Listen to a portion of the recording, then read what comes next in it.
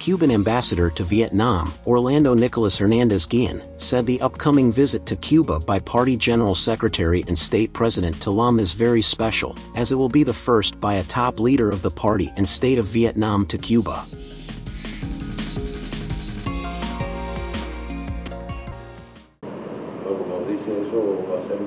The visit will mark a historically significant moment. Cuba was the first country in the Western Hemisphere with which Vietnam established relations.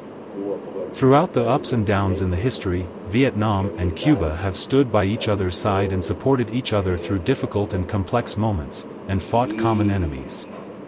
This is evidence of the special brotherhood between the two nations through the past 65 years.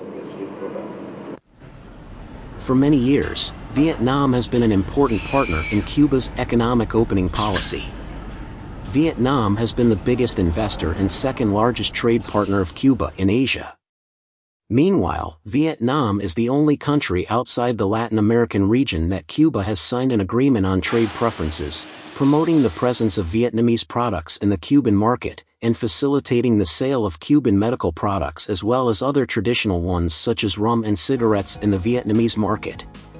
Regarding the political relations between the two parties, Ambassador Hernandez Guillen said, the two sides have organized theory conferences to increase experience exchange on party building. Amid the current complicated world situation with threats from all aspects, Cuba and Vietnam have shared common viewpoints on the world's most pressing issues.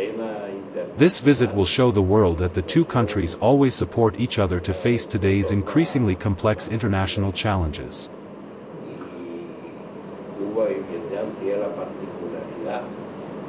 The ambassador said during the visit, the two sides are expected to reach important agreements in the party aspect, contributing to promoting the relations between the two parties.